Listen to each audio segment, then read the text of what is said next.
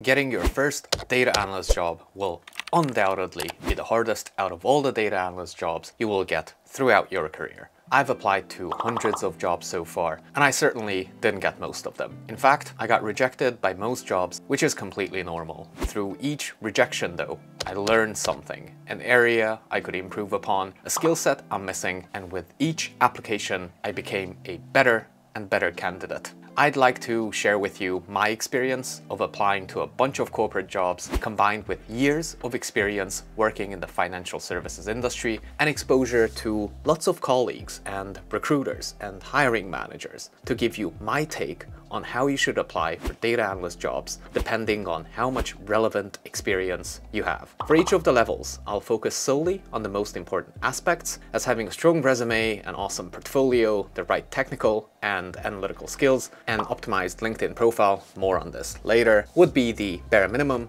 a good baseline to start from. Let's start with level one, where you have no relevant experience and no uni degree. I'm not gonna lie, this is a very tough starting position, but if you're truly determined to become a data analyst, there are many things you could do to achieve your goal. Your number one priority will be to get hands-on relevant experience. And here, depending on how old you are, I'd recommend doing different things. Say if you're in high school and you don't want to go to or cannot attend university, for whatever reason, you could apply for apprenticeship or trainee programs. These are usually tailored for students who are just about to finish high school or have just finished high school, and most large corporations have programs like these. The names of these programs might differ by country. They might be called uh, apprenticeship, work experience, smart start, or trainee programs. But the idea is the same, to give you an opportunity to develop your skills, get real life experience, and get paid enough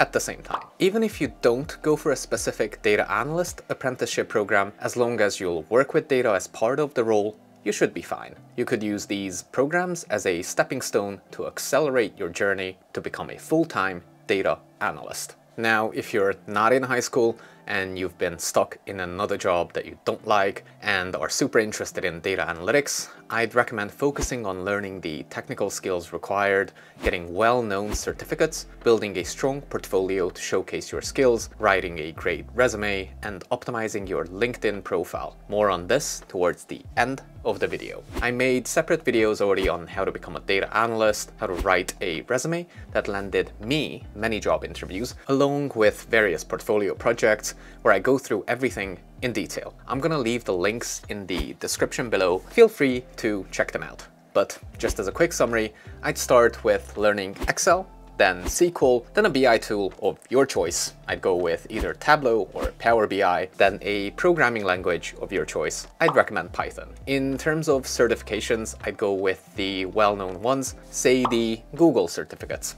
I actually already put together a data analyst roadmap that you can check out at datawithmo.com. I'll also leave the link in the description below. I have to emphasize here that this is the only level I haven't personally experienced as I do hold a master's degree in finance and economics. But I have come across people throughout my career who have started as trainees and apprentices and self-taught data analysts who have gone on to have amazing careers. If any of you watching this have ever been part of a program like this, or if you're a self-taught data analyst, or if you're currently teaching yourself to be a data analyst, please feel free to share your feedback in the comments below. I'm sure we'd all appreciate to hear your thoughts and insights. Moving on to level 2, where you still have no relevant experience, but you have a uni degree. This is a level I can easily relate to and recall, given it was only five years ago that I was applying for jobs during my master's degree.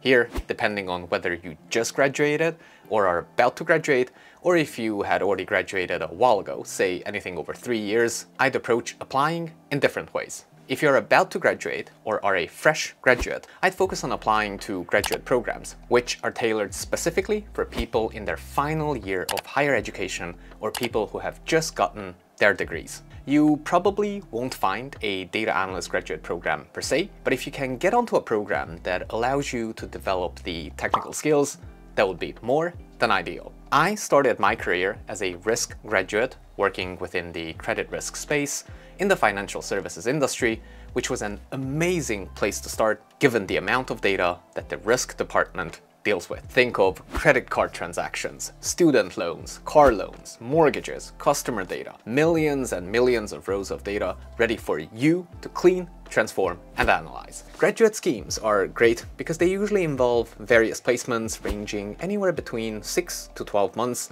so it's a great starting place as you can work in different teams and departments and figure out what you actually want to do, which tends to happen by figuring out what you don't want to do. Now, if you graduated a while ago and you went off to do something else or traveled or life just simply steered you in different directions and decide that now is the time you want to become a data analyst, I'd focus on the data analyst roadmap, the resume, the portfolio, and the certifications outlined in level one. I'd also highlight your degree if you studied something relevant, say computer science or data science, or something that involves math and statistics, or any courses or modules that are relevant to data analytics. Let's move on to level three, where you would have some relevant experience. For example, in your current job, you do some data entry and work with data on a day-to-day -day basis. You may not be doing advanced analytics, but you are actively working with data. Let me pick a specific example within banking. Say you're a relationship manager and you cover business banking clients. Your current tasks and responsibilities are obviously very different from a data analyst's tasks but you are using spreadsheets to collect data and you are creating some tables and charts which then you use in client meetings and presentations. This would be a good relevant experience that you should highlight at the top of your resume. Now be careful though, and keep in mind that you're applying to a data analyst job, so try and emphasize the data work you do in the background to support clients rather than how you can create shiny PowerPoint presentations and how you're a confident and clear communicator when it comes to client meetings. Of course, stakeholder management skills are really important and you do need them as a data analyst. But given it wouldn't be the primary skill set recruiters and hiring managers would be looking for, don't put them at the top of your resume. You could instead take a different angle and highlight how good of a data storyteller you are, how good you are at communicating to clients, how good you are at getting your message across using data to a non-technical audience, rather than how good you are at communication in general and at creating PowerPoint packs. And finally, level four, where you have plenty of relevant experience and you're looking to transition into data analytics by applying the skills you've acquired throughout your career. Let me use another specific scenario, my personal experience scenario actually, to demonstrate how you could apply the skills you already have to data analytics. When I was working as a risk graduate and a credit portfolio manager, I was working with lots of data in Excel, SQL and Python on a daily basis. My focus was around identifying trends within the portfolio, managing credit exposures, making sure that we don't breach country or sector limits, or doing portfolio concentration analysis. Even though the role was not a data analyst role, the skills I needed and acquired throughout the years were totally applicable to data analyst tasks such as pulling data from various data sources, cleaning and transforming data, and getting insights out of data. So, if you are currently in a job like this, where your skills are easily transferable to data analytics, I would certainly put this relevant work experience at the top of your resume. You should also optimize your LinkedIn profile so that recruiters can find you. If you build a good profile, you won't even have to apply for jobs. Recruiters will reach out to you and work with you so that you can get a job. I would 100% recommend working with recruiters as their number one goal and your number one goal are the same. They want you to get a job so that they can get paid. And you want to get a job so that you can get paid. Pretty simple, right? So how can you optimize your LinkedIn profile? Recruiters who look to fill data analyst positions will certainly look for keywords like data analyst. So first and foremost, you should try and include data analyst somewhere on your profile. The best place to put these keywords would be in the headline. Make sure to write your own headline as you can include as many keywords as you want to as if you go with the default LinkedIn option, you're restricted to just one title. Now, even if your role is not a data analyst role, you can include data analyst somewhere in the headline if you have the necessary skills and or certifications and or you've done many data analyst portfolio projects. Next, you could include links to your portfolio projects or maybe even your own website that showcases all your technical skills in the featured section. Having your projects here really makes them stand out. After that, you'd want to optimize your bio. Recruiters looking to fill data analyst jobs are looking for certain skills, so make sure you include keywords like Excel, SQL, Python, or Tableau or Power BI in the About section. When populating the work experience section, focus on highlighting relevant experience. Include three to five projects for each role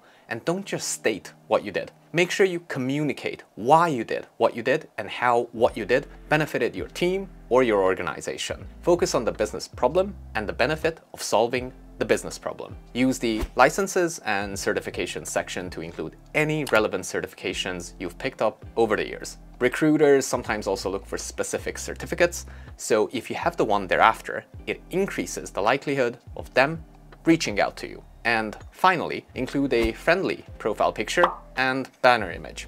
I know a lot of people go with serious faces, but I think a warm, smiley picture is a great way for making that connection with the recruiters a lot more personal. And probably the most important advice, whether you have zero experience or you have plenty, is to not give up. It sounds cliche, but the difference between successful and less successful people is not actually their ability to succeed. It's their ability to come back from defeat, from failures, from rejections, work hard and improve and better themselves. I got rejected well over a hundred times, maybe even over 500 times. And the first one really hurt. So did the second, and so did the 10th one. Of course, these rejections got to me. It was sad, frustrating, discouraging. I was thinking, this is not fair. Clearly, I'm more than capable of doing whatever the job spec says. And this was definitely the wrong approach. The moment I stopped thinking about the rejections and started thinking about why they rejected me and how I could improve so it doesn't happen again,